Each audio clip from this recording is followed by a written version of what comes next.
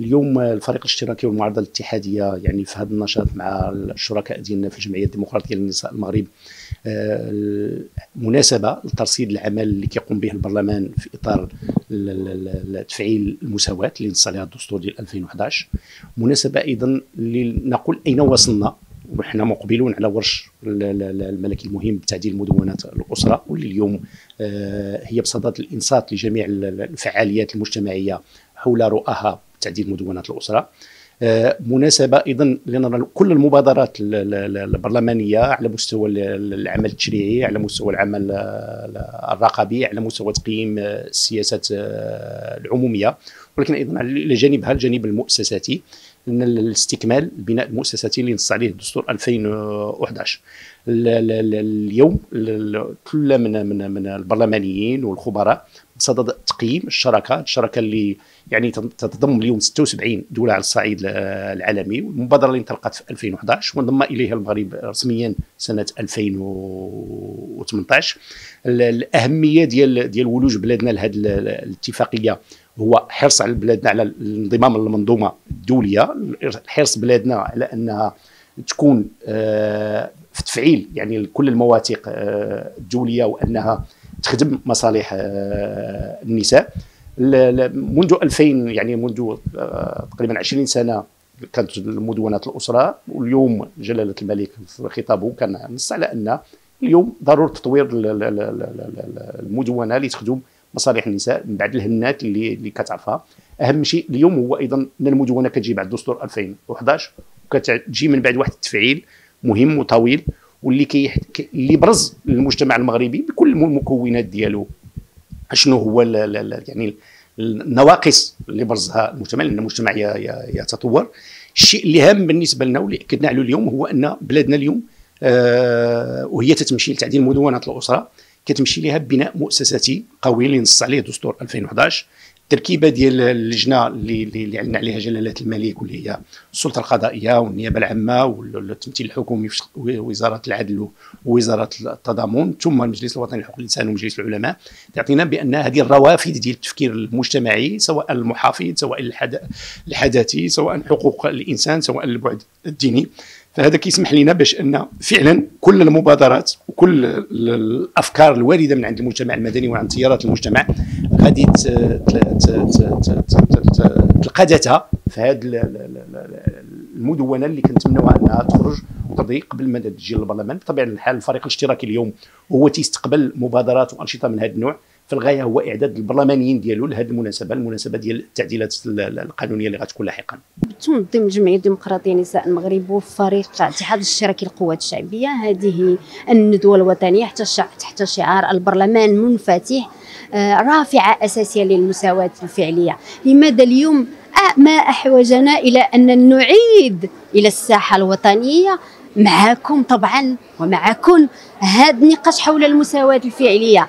لأن قمة الأهداف الإنمائية للألفية عفوا قمة أهداف التنمية المستدامة اللي دازت لو سومي هاد القمه الكبرى اللي دازت في شوتنبير الأخير. شنو بينت بينت بأن لم نتقدم بأن عندنا مجموعة من التحديات والمعيقات التي التي تحد من إعمال أهداف التنمية المستدامة. علاش؟ لأن تأخرنا في قضايا المساواة.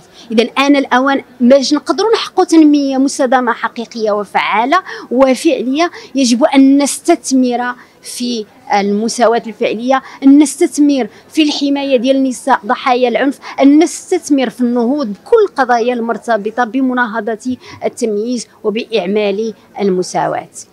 اليوم البرلمان يتوفر على خطة سميتها الخطة البرلمان المنفتح. كيف يعقل أن خطة البرلمان المنفتح متواجدة وما زالت القبة البرلمانية التي تشرعن القوانين وتشرع وتشرعها. ما زالت العديد من القوانين تحمل التمييز والعنف وما زالت لم ترقى إلى مستوى إعمال المساواة الفعلية. لهذا إحنا في الجمعية الديمقراطية لنساء المغرب وفريق الاتحاد الاشتراكي للقوات الشعبية بغرفة مجلس النواب. ارتئينا أن هذا اليوم يكون فرصة لمناقشة محتويات هذه الخطة من أجل تطويرها مستقبلا لكي يستطيع أن يكون لدينا برلمان منفتح بالفعل على قضايا المساواة الفعلية في كل الحالات والوضعيات خصوصا أن اليوم كاين نقاش المدونه وما أحوجنا إلى تغيير جاء شامل وجذري لمدونة الأسرة. اليوم الفائق الشيكي كينظم يوم دراسي حول موضوع آه، البرلمان المنفتح في علي المساواة الفعلية وذلك بالشراكة مع آه، الجمعية الديمقراطية لنساء المغرب. اللي إحنا انطلاقا من العنوان يتضح شنو هو الهدف ديال اليوم الدراسي. الهدف الأساسي هو الدور ديال المؤسسة البرلمانية الدور ديال مجلس النواب تحديدا في آه هذا الموضوع المتعلق بأن نجعل من آه الحكومة المنفتحة آه رافعة أساسية لإعمال المساواة في هذه في هذه البلاد.